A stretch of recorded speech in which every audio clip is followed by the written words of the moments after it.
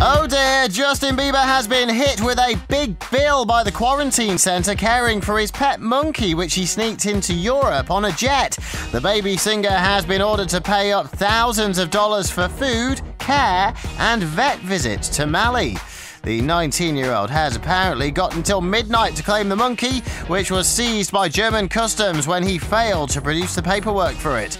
Bieber had taken his pet on a flight to Munich while on tour, which broke Germany's strict health laws. The shelter said that his management company has asked that 20 week old Mally be placed in a zoo, but customs are yet to receive a formal request from Justin. The teen star didn't seem to be too fazed by it all when we spotted him out at a food shop in Los Angeles recently, but boy, his fashion sense is how do I put this?